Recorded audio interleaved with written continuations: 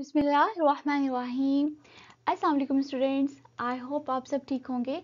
आज जो है हम क्लास टेन बायोलॉजी का जो हमारा फ़र्स्ट चैप्टर है, गेशियस एक्सचेंज, उसके बारे में जो हम पढ़ने वाले हैं। स्टूडेंट्स, हम यहाँ पे पढ़ने से पहले एक छोटी सी यहाँ पे कोर्स सीखेंगे, इसके बाद हम बाकायदा आगाज़ करेंगे।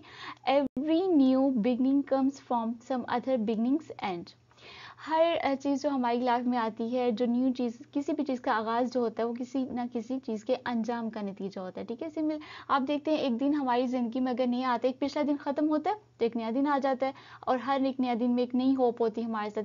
सिमिलरली आपने यहाँ पे जो अपनी क्लास नाइन्थ की बायोलॉजी की बुक को यहाँ पे ख़त्म किया, और अब आप जो है इनशाला क्लास टेंथ बायोलॉजी की बुक को पढ़ने वाले हैं। स्टूडेंट्स एंड एम श्योर कि जो भी स्टूडेंट इस वीडियो को देख रहा है uh, या तो वो ये कि अपनी बायोलॉजी की बुक को स्टार्ट से पढ़ने वाला है ठीक है पहले चैप्टर से अभी वो स्टार्ट करा है या फिर वो जो है एग्ज़ाम्स के नज़दीक आके अपने कॉन्सेप्ट क्लियर करने के लिए पहले चैप्टर से रिवाइज कर रहा होगा क्योंकि ये हमारी पहली वीडियो फ़र्स्ट चैप्टर की फ़र्स्ट वीडियो से। और सिंपली स्टूडेंट्स मैं आप सबको ये एडवाइस करूँगी कि देखिए हमारी बुक जो है बायोलॉजी की बायोलॉजी क्या थी? हमने नाइन्थ क्लास में पढ़ा था ना कि हमारे पास biology is study of living things and you all know कि we are humans are living और हमारे सराउंडिंग में बहुत सारी चीज़ें जो लिविंग है। सो लिविंग थिंग का इसका स्टडी करना ना सिर्फ़ यूज़फुल um, है बट आई थिंक ये थोड़ा इंटरेस्टिंग भी है ठीक है? सो आप जो है अगर इस बायोलॉजी को इंटरेस्ट के साथ पढ़ेंगे और ये सोच के पढ़ेंगे कि वो आर डिस्कवरिंग समथिंग तो आपको ये इंशाल्लाह अच्छी लगेगी ठीक है? Biology is a very good subject so I wish every students a very best of luck और अगर आप यहाँ पे हमारा जो पहला चैप्टर है और इसका फ़र्स्ट टॉपिक जो हम इंट्रोडक्शन या स्टार्ट लेंगे, इसके बाद जो हम बाकायदा नेक्स्ट वीडियोस में नेक्स्ट टॉपिक्स को देखेंगे। स्टूडेंट्स हमारा जो पहला पहला नहीं, बल्कि चैप्टर नंबर टेंथ है क्योंकि हमारे क्लास नाइन्थ में आपने देखा होगा जो नो चैप्टर थे, आपने फिनिश किए थे, और हमारा मैट्रिक पार्ट टू जो चैप्टर नंबर टू से जो वो प्रोसीड हो रहा है, ठीक है? और हमारे चैप्टर का क्या नेम है? गैशियस एक्सचेंज ठीक है? और स्टूडेंट्स यहाँ पे आपको समझ आ रही होगी ना गैशियस गैशियस क्या होती हैं? अगर आप थोड़ा सा नेम पे गौर करें तो आपको हिंट मिल जाएगा कि हम इस चैप्टर में क्या पढ़ने वाले हैं। सो गैशियस मीन्स के गैसेस ठीक है ना? गैसेस क्या होती हैं? आपने सुना होगा अभी तक पढ़ा होगा कि कार्बन डाइऑक्साइड हमारे पास गैस है ऑक्सीजन गैस है हाइड्रोजन गैस है ये सारी हमारे पास क्या गैसेस हैं? और ये गैसेस कहाँ पे पाई जाती हैं? आपको पता है हमारी इन्वायरमेंट में जो हमारी एयर है ठीक है? एयर में प्रेजेंट होती हैं। सो so, का एक्सचेंज एक्सचेंज का क्या मतलब होता है? तबादला होना। ठीक है? किसी चीज़ का मुंतकिल तबादला होना। सो गैसेस जैसे अगर मैं एक बात करूँ, आपने पढ़ा होगा अभी तक हम जो है ह्यूमंस सांस लेने के लिए कौन सी गैस को इनहेल करते हैं? ऑक्सीजन ठीक है? हम जो है एक्सेल जो करते हैं कार्बन डाइऑक्साइड करते हैं और ऑक्सीजन हमारे लिए ज़रूरी होती है। इसी तरह प्लांट्स में आपने सुना होगा उनके कार्बन डाइऑक्साइड चाहिए होती है। तो ये गैसेज जो कि हमारी एयर में प्रेजेंट है, ये हम ह्यूमंस ऑर्गेनिजम्स प्लांट्स इन गैसेज को किस तरीके से अपने बॉडी में लेके जाते हैं और कैसे इनको बाहर लेके आते हैं? और ये क्यों ज़रूरी है? इनका क्या मैकेनिज़्म है? और अगर हम ये ना करें तो हमारे बॉडी में क्या चेंजेस आ सकती है? कौन से डिसऑर्डर्स हमें हो सकते हैं? सो ये सारे पॉइंट्स हम इस चैप्टर में पढ़ने वाले हैं। और यहाँ पे जो हमारे पास मेजर जो टॉपिक्स हैं जो इस चैप्टर में हम कवर करेंगे वो है हमारे पास एक तो हम पढ़ेंगे गैसेस एक्सचेंज इन प्लांट्स ठीक है? प्लांट्स में किस तरीके से जो गैसेस का तबादला होता है ठीक है? प्लांट्स में हमने पढ़ा ना ह्यूमन सॉरी ऑर्गेनिज्म है लिविंग ऑर्गेनिज्म है। सो so, प्लांट्स में ये जो गैसेज हैं ये किस तरीके से एक्सचेंज होती हैं? इसी तरह हम पढ़ेंगे कि ह्यूमन्स में जो है वो ये गैसेज का एक्सचेंज किस तरीके से होता है कौन सा मैकेनिज्म है और ये क्यों ज़रूरी है ठीक है? और थोड़े से हम रिस्पायरेटरी डिसऑर्डर्स के बारे में इस चैप्टर के एंड पे जानेंगे ठीक है जी। और इस वीडियो में स्टूडेंट्स हम यहाँ पे जो है वो एक इंट्रोडक्शन लेंगे ठीक है? सो यहाँ पे बाकायदा पहला टॉपिक हमारे पास ये आता है कि गैशियस एक्सचेंज इन प्लांट्स ठीक है? लेकिन उससे पहले हमारे पास यहाँ पे तीन टर्मिनोलॉजीज हैं जिनका जानना सबके लिए बहुत ज़रूरी है। फ़र्स्ट हमारे पास सेलुलर रिस्पायरेशन सेकेंड जो है वो गैशियस एक्सचेंज है। गैशियस एक्सचेंज तो हमारी वही चैप्टर का नेम ही हो गया ना हमारे फ़र्स्ट चैप्टर का नाम भी गैशियस एक्सचेंज ही है। सो so, इसकी डेफिनेशन भी हम यहाँ पे देखेंगे इसी वीडियो में। और थर्ड हम जिस टॉपिक जो टर्मिनोलॉजी के बारे में जानेंगे वो हमारे पास ब्रीथिंग ठीक है? सो ये तीन जो हमारे पास टर्म्स हैं सेलुलर रिस्परेशन क्या होती है गैशियस एक्सचेंज क्या होता है और ब्रीथिंग किसे कहते हैं, ये हम जो है इस इस वीडियो में देखेंगे, ठीक है? अच्छा यहाँ पे आपके जहन में आ रहा होगा कि रिस्पायरेशन भी आपने अभी तक हो सकता है आई थिंक मेजोरिटी स्टूडेंट्स के बारे में ये होगा कि रिस्पायरेशन भी जो होता है वो रिस्पायर करना सांस लेना होता है और ब्रीथिंग भी सांस लेना होगा है ना? ये दोनों वर्ड्स तो सेम हो गए। सो so, यहाँ पे मैं आपको एक बात क्लियर कर दूँ कि हमारे पास जो सेलुलर रिस्पायरेशन या ब्रीथिंग ये दोनों प्रोसेस कंप्लीटली डिफरेंट है ठीक है? इनमें एक जो है आल दो ये लिंक ईच अदर है एक दूसरे के साथ मिलके लेकिन जो है रिस्पायरेशन में जो है वो डिफरेंट इसकी डेफिनेशन है और ब्रीथिंग ये दोनों प्रोसेस जो है वो डिफरेंट है ठीक है? सो आपकी बुक में पहले यहाँ पे सेलो रिस्पायरेशन की डेफिनेशन दी है गैशियस एक्सचेंज की दी है और एट द एंड ब्रीथिंग की दी है, ठीक है? लेकिन मैं यहाँ पे आपको पहले रिस्पायरेशन की डेफिनेशन बताऊँगी, इसके बाद ब्रीथिंग और एंड पे हम गैशियस एक्सचेंज के बारे में जानेंगे, ठीक है? अच्छा जी स्टूडेंट्स यहाँ पे हमारे पास पहली जो है सेलुलर रिस्पिरेशन की जो डेफिनेशन आपकी बुक में दी गई है, वो कुछ इस तरीके से है कि सेलुलर रिस्पिरेशन जो हमारे पास cellular respiration is a process ठीक है? ये एक ऐसा प्रोसेस है in which carbon hydrogen bond जिसमें क्या होता है कि इन फ़ूड ठीक है, हमारे फ़ूड में जो कार्बन हाइड्रोजन बॉन्ड है और ब्रोकन उनको तोड़ा जाता है। कैसे तोड़ा जाता है? ऑक्सीडेशन रिडक्शन रिएक्शन से तोड़ा जाता है। And energy is transformed into ATP ठीक है? सो ये हमारे पास सेलुलर रिस्पिरेशन की डेफिनेशन है। अब इसका क्या मतलब है? स्टूडेंट्स आपको पता है कि हम ऑर्गेनिजम्स की बात, हम ह्यूमंस की बात करें, हमें अपने रोज़मर्रा काम करने के लिए एनर्जी चाहिए होती है। आप बुक रीडिंग कर रहे हैं, आप ये वीडियो देख रहे हैं, आप कुछ सुन रहे हैं, आप कुछ समझ रहे हैं, चलने, फिरने, बैठने धोने आपको एनर्जी की ज़रूरत होती है, ठीक है? और एनर्जी कहाँ से आती है, ठीक है? एनर्जी की ज़रूरत तो सबको होती है, और ये एनर्जी कहाँ से आती है? आप सबके जेहन में होगा कि हम फ़ूड से लेते हैं, है ना? ठीक है पार्शली आप ठीक समझ रहे हैं कि हम एनर्जी जो है, अपने बॉडी को कैसे देते हैं? फ़ूड से देते हैं। अच्छा अब ये जो फ़ूड है, क्या ये फ़ूड हम जब कुछ खा लेते हैं तो डायरेक्ट जाके एनर्जी बन जाती है? ठीक है एनर्जी बन जाती है लेकिन यहाँ पे हमारे पास एक प्रोसेस होता है ठीक है? हमारा जो फ़ूड इनहेल करते हैं जो भी खुराक हम लेके जाते हैं अपनी बॉडी के अंदर वो क्या होती है? वो ब्रेक डाउन होती है उसके अंदर तोड़ फोड़ का प्रोसेस होता है ठीक है? और वो जब ब्रेक होती है और देन वो किसमें कन्वर्ट हो जाती है? वो ए में कन्वर्ट हो जाती है ठीक है? और ये एटीपी क्या बुला है? एटीपी हमारे पास एक एनर्जी करेंसी है ठीक है? आई थिंक आप सबने थोड़ा बहुत पढ़ा होगा एटीपी के बारे में। सो so, हम यहाँ पे एनर्जी को क्या कहते हैं? कि हमारे पास जब हम फ़ूड को लेते हैं, ठीक है फ़ूड हमारे बॉडी में जाके ब्रेक डाउन होती है और ब्रेक डाउन के बाद वो एटीपी में कन्वर्ट हो जाती है। एटीपी के अगर मैं आपको फुल फॉर्म बताऊँ तो ये होती है एडीनोसिन ट्राइफॉस्फेट ठीक है? और यहाँ पे आप इसका स्ट्रक्चर भी देख सकते हैं, ठीक है? ये इस तरीके से हमारे पास होती है। इसमें जो हमारे पास एडिनिन बेस होती है और हमारे पास जो है राइबोस शुगर होती है और तीन फॉस्फेट्स के ग्रुप होते हैं। ये ना जैसे हम कह सकते हैं कि एनर्जी करेंसी एटीपी का आप डेफिनेशन ये समझ लें इस लेवल पे कि A is energy currency currency. ठीक है? जैसे आप बात करते हैं ना, जैसे मनी की बात करते हैं सो हमारे पास हम रुपीज़ को कहते हैं कि हमारे पास ये करेंसी है। सो अब ये समझ लें कि एनर्जी जो होती है ना, जब हमारे बॉडी में हम फ़ूड लेते हैं और ब्रेक हो जाती है सो जो एनर्जी होती है, वो पैकेट्स की फॉर्म में हमारे बॉडी में स्टोर हो जाती है। सिंपली उसको हम कह देते हैं एटीपी ठीक है? यानी हमारी जो एनर्जी है, वो छोटे छोटे पैकेट्स में जो है, वो स्टोर की हुई है हमारी बॉडी में। अब जब हमें कोई काम की ज़रूरत होगी सो हमें एक पैकेट एटीपी का लेंगे, एक या, ठीक है? Depend upon you work in routine so हमारी इस तरीके से जो एनर्जी यूज़ होती है, वो एटीपी के फॉर्म में होती है, ठीक है? अच्छा ये जो ब्रेक डाउन हो रही होती है, ये कैसे होती है, ठीक है?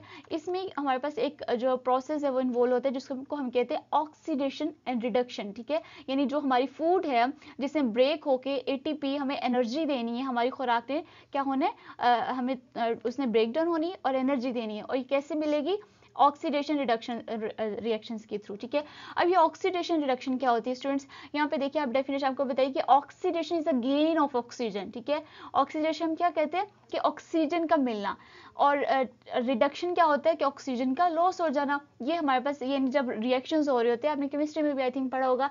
नहीं तो आप फ़िक्र नहीं करिए हमारे पास ये जो ऑक्सीडेशन रिडक्शन ये एटीपी इन दोनों टर्म्स के बारे में आप हाई क्लासेस में बहुत डिटेल से पढ़ने वाले हैं ठीक है? सो हम यहाँ पे थोड़ा सा ये जान लेते हैं कि ऑक्सीडेशन में हमारे पास क्या होता है कि ऑक्सीजन की एडिशन होती है। ठीक है? या फिर इसकी ये भी डेफिनेशन हो सकती है कि इलेक्ट्रॉन्स का या हाइड्रोजन का रिमूवल होना।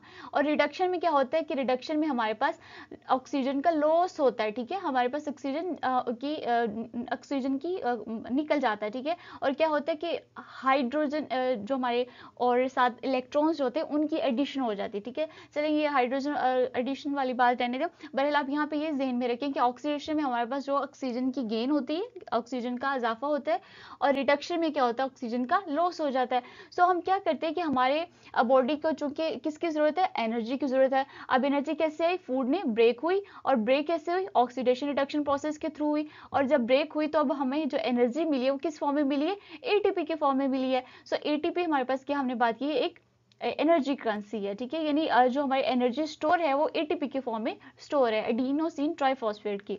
सो सेलुलर रेस्पिरेशन की अगर यहाँ पे हम डेफिनेशन को रिवाइज करें तो क्या है कि cellular respiration is a process ये एक प्रोसेस है, जिसमें क्या होता है कि कार्बन हाइड्रोजन बॉन्ड हमारे फ़ूड में से जो है वो ब्रोकन हो जाते हैं, ठीक है? अब कार्बन हाइड्रोजन बॉन्ड का क्या मतलब है यहाँ पे? आपको पता है हमारी जो फ़ूड होती है वो ज़्यादातर हम ऑर्गेनिक फॉर्म में ले रहे होते हैं ना? सो यहाँ पे फ़ूड के अंदर आपने पढ़ा होगा लास्ट क्लास में भी पढ़ा था कि हमारे फ़ूड के अंदर डिफरेंट कार्बोहाइड्रेट्स होते हैं प्रोटीन्स अवेलेबल होती हैं लिपिड्स लेते हैं। सो उन फ़ूड की अगर हम केमिकल स्ट्रक्चर को देखें सो क्या है कि हम उस फ़ूड के अंदर जो यहाँ पे आपको बताया कि फ़ूड ब्रेक होती है, ठीक है ना? तो फ़ूड किसी न किसी फॉर्म में होगी सो उस फ़ूड की फॉर्म की स्ट्रक्चर देखें तो उसके अंदर क्या होता है कि कार्बन हाइड्रोजन बॉन्ड को ब्रेक किया जाता है। कैसे ब्रेक किया जाता है? ऑक्सीडेशन रिडक्शन के थ्रू ठीक है? इन रिएक्शन के थ्रू और जब ब्रेक हो जाती है तो हमारे पास जो हमें एनर्जी मिलती है, वो किस फॉर्म में मिलती है? एटीपी के फॉर्म में मिलती है। और इसको हम क्या कहते हैं? सेलुलर रेस्पिरेशन ठीक है स्टूडेंट्स तो यहाँ तक हमें क्लियर हुआ कि सेलुलर रेस्पिरेशन एक्चुअली क्या है? कि हमारे बॉडी को जब एनर्जी की ज़रूरत होती है सो हमारी फ़ूड का ब्रेक हो जाना किसमें एनर्जी की फॉर्म में सो किसके थ्रू ऑक्सीडेशन रिडक्शन प्रोसेस के थ्रू तो ये हमारे पास क्या होता है? हमारे पास सेलुलर रेस्परेशन होती है, ठीक है? अच्छा यहाँ पे एक बात और भी कि जब हमारी फ़ूड ब्रेक होती है ना स्टूडेंट्स तो सिर्फ़ एटीपी के साथ साथ हमें दो चीज़ें और भी मिलती हैं। कौन सी मिलती है? एक हमें कार्बन डाइऑक्साइड मिलता है और सेकंड हमें वाटर मिलता है। ये दो चीज़ें हमें मिलती है। सेलुलर रिस्पायरेशन दो तरह की होती है, ठीक है? एक हम कहते हैं रिस्पायरेशन एक को हम कहते हैं एरोबिक और एक होती है हमारे पास एनएरोबिक ठीक है? एरोबिक वो वाली होती है जिसमें हमारे पास ऑक्सीजन प्रेजेंट होती है, ठीक है? ओ अगर होगा, यानी कि हमारे पास अगर ऑक्सीजन हमारे पास, हमारे बॉडी में अवेलेबल है देन हमारे फ़ूड जो है वो ब्रेक होगा। ठीक है?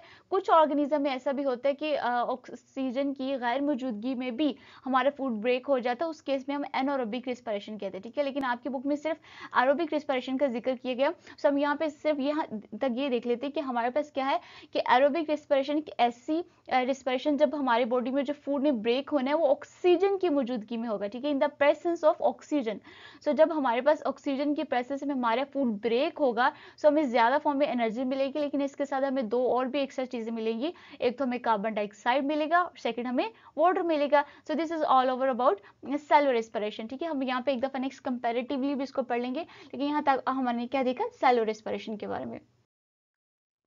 इसके बाद हमारे पास जो नेक्स्ट टर्म है, वो हमारे पास है ब्रीथिंग ठीक है? अगर हम ब्रीथिंग की बात करिए तो जस्ट सांस लेना, आप सबको समझ आ रही है, ठीक है? यहाँ पे इसकी डेफिनेशन हम देखें। See the term breathing breathing is used for the process ठीक है, हम ब्रीथिंग को किस प्रोसेस का यूज़ करें? Through which animals takes air ठीक है? एनिमल्स में हमारे पास एनिमल्स भी आ सकते हैं ह्यूमंस भी आ रहे हैं, ठीक है? Takes air in their bodies अपने बॉडी में एयर को लेके जाते हैं to get oxygen from it ठीक है? किसके लिए एयर को लेके जाते हैं? ऑक्सीजन हासिल करने के लिए and give out the air और फिर एयर को बाहर निकालते फॉर गेटिंग रिड ऑफ़ ठीक है? गेटिंग रिड ऑफ़ नजात हासिल करने के लिए। किससे नजात के लिए? कार्बन डाइऑक्साइड के लिए, ठीक है? ये तो बहुत आई थिंक आप सबने पढ़ी होगी लास्ट फ्यू क्लासेस में भी। यहाँ पे आप देखें कि आपको ये नज़र आ रहा है। सो so, ये मैन क्या हो रहा है कि यहाँ पे आप देखिए जब हम सांस लेते हैं तो क्या करते हैं अपनी नेजल कैविटी के थ्रू जो है हम अपनी एयर को इनहेल करते हैं। इनहेल मतलब अंदर दाखिल करते हैं। सो so, आप देखें कि हमारे पास एयर जो है वो एक टाइम में हमारी बॉडी में इंटर हो रही है ठीक है? और क्या हो रहा है कि एयर में से हमारा बॉडी जो है वो ऑक्सीजन को ले लेता है। और फिर जो दोबारा अगले प्रोसेस में क्या आता है कि हमारा बॉडी एक्सेल करता है, ठीक है? आप ये देखिए, हमारे पास लंग्स जो है वो सब मूव कर रहे हैं, ठीक है? यानी हमारे एयर्स जब हमारे बॉडी में इंटर होती है सो क्या होता है कि हम जो है उसमें से ऑक्सीजन को ले लेते हैं और क्या होता है कि हम जब एक्सेल करते हैं, देखिए यहाँ पे एक्सेल और इनहेल दोनों प्रोसेस एट ए टाइम आपको शो करें सो जब एक्सेल करना तो हमारे बॉडी में से जो कार्बन डाइऑक्साइड है वो निकल जाएगी। इस छोटे से अमल को हम क्या कहते हैं? ब्रीथिंग करना, ठीक है? आप सबको पता है ब्रीथिंग के बगैर हम जो है वो लिविंग ऑर्गेनिज्म जो है ह्यूमंस की अगर बात करें, सांस के बगैर हमारी ज़िंदगी नामुमकिन है, ठीक है? ये बहुत हमारे बॉडी में सबसे इंपॉर्टेंट प्रोसेस है, ठीक है? सो ब्रीथिंग हमारे पास अगर इसकी डेफिनेशन करें तो हम कहते हैं कि हमारे बॉडी की एक्चुअल में मूवमेंट है। हमारा बॉडी मूव कर रहा है। देखिए, आप देखिए कि हमारा बॉडी के आदो ये हमें नज़र नहीं आ रहा है ये बहुत फील नहीं कर रही है हमारे पास एक इनवॉन्ट्री जो हमारे पास एक प्रोसेस है, ठीक है? सो क्या होता है कि हमारे बॉडी क्या करते हैं? एयर को इनहेल करते हैं और इनहेल करते हैं ऑक्सीजन को लेने के लिए और क्या करते हैं? एक्सेल करते हैं कार्बन डाइऑक्साइड से निजात हासिल करने के लिए। So this is all about breathing यहाँ पे आप देखेंगे कि हमारे पास मैंने इसको कंपैरेटिव किया है। हम यहाँ पे कंपैरिजन देखेंगे ताकि हमें दोनों टर्मिनोलॉजी के जिसके दरमियान जो है मजीद क्लियरिफाई हो जाए। क्योंकि break down of food molecules in the cells ठीक है? हमने अभी देखा कि सेलुलर रेस्पिरेशन क्या है कि फ़ूड मॉलिक्यूल्स का ब्रेक डाउन हो जाना break down of food molecules in the cells हमारे सेल्स के अंदर फ़ूड मॉलिक्यूल्स का ब्रेक डाउन हो जाना to get energy in the ठीक है? किस लिए हम ब्रेक डाउन करते थे एनर्जी हासिल करने के लिए और किसकी मौजूदगी में करते थे? ऑक्सीजन की मौजूदगी यही हमने देखा ना ऑक्सीडेशन रिडक्शन प्रोसेस के थ्रू हमारा बॉडी जो ब्रेक डाउन करता है to get energy in the form of ATP ठीक है? ये भी यही हमने देखा। तो यहाँ पे मैंने थोड़ी सिंपलर फॉर्म में इसकी डेफिनेशन कर लिखा है कि क्या होता है कि break down of food food का ब्रेक डाउन होना मॉलिक्यूल्स का इन द सेल सेल्स में टू गेट एनर्जी एनर्जी हासिल करने के लिए किसके लिए? Uh, किसकी मौजूदगी में? ऑक्सीजन की मौजूदगी में। So this is cellular respiration ठीक है? अब यहाँ पे जो नोटिसेबल चीज़ है वो ये कि हम पे, हम बात करें कि किसकी मौजूदगी में हमारी ब्रेकडाउन होगी? ऑक्सीजन की मौजूदगी में, ठीक है? ओ टू की फॉर्म की मौजूदगी में होगी। और ओ क्या है? हमारे पास एक गैस है। और ब्रीथिंग में हम बात करें कि हमारा बॉडी जो है, वो अपने अंदर लेके जाता है ऑक्सीजन ठीक है? ऑक्सीजन हम इनहेल करते हैं और बाहर क्या निकालते हैं? कार्बन डाइऑक्साइड सो ये आप देखिए कि हमारे पास, यहाँ पे अगर हम ब्रीथ नहीं करेंगे, हमारे बॉडी के अंदर ऑक्सीजन नहीं होगी सो हमारे रिस्परेशन प्रोसेस भी मुश्किल हो जाएगा, ठीक है? सो आप देखें कि हमारे पास, अब ये समझे कि सेलुलर रिस्परेशन हमारे पास एक मेजर एक बड़ा अमल है और ब्रीथिंग उसका एक छोटा सा हिस्सा है, ठीक है? छोटा सा हिस्सा क्या है? यानी कि हमारे बॉडी को ब्रेक डाउन करने के लिए ऑक्सीजन की जो ज़रूरत होती है तो वो हम ब्रीथिंग के थ्रू ले रहे होते हैं, ठीक है? ब्रीथिंग क्या बॉडी मूवमेंट है, जो कि अलाउ करती है एयर को टू इंटर ठीक है? या इंटर दाखिल हो और लीव हमारी बॉडी से बाहर निकले द लंग्स ठीक है? सो लंग्स की मूवमेंट होती है बॉडी की मूवमेंट होती है कि हमारे बॉडी के अंदर एयर दाखिल भी हो रही है और हम इसको बाहर भी निकालें।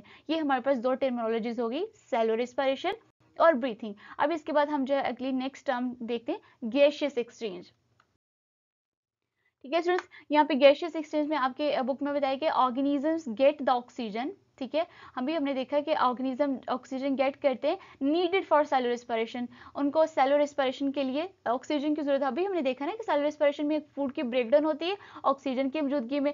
सो वो यही बात कर रहे हैं कि ऑर्गेनिज्म जो है ऑक्सीजन को गेट करते हैं, जो कि उनको सेलुलर रेस्पिरेशन के लिए ज़रूरत होती है फ्रॉम देयर इन्वायरमेंट ठीक है? इन्वायरमेंट से ले रहे हैं ना ऑब्वियसली जो ब्रीथ करें ब्रीथ हम एयर से ले रहे हैं एयर हमारे इन्वायरमेंट का हिस्सा है and provide to their cells और फिर वो क्या करें? जो एयर इन्वायरमेंट से ऑक्सीजन को ले रहे हैं ऑर्गेनिज्म ठीक है? ऑर्गेनिज्म अपने इन्वायरमेंट से ऑक्सीजन को ले रहे हैं और वो अपने सेल्स को दे रहे हैं, ठीक है? The carbon dioxide produce during the cellular respiration is taken out of the cell ठीक है? अब सेलुलर रिस्परेशन प्रोसेस के दौरान जो कार्बन डाइऑक्साइड हमारे बॉडीज में प्रोड्यूस हो रही थी, वो हमारी बॉडी से निकाल रहे हैं, ठीक है? अब कार्बन डाइऑक्साइड कैसे प्रोड्यूस हो रही थी? अभी हमने देखा कि सेलुलर रिस्पायरेशन प्रोसेस में क्या होता है? हमारा फ़ूड जो है ब्रेक होता है। ब्रेक किसकी मौजूदगी में होता है? ऑक्सीजन की मौजूदगी में होता है।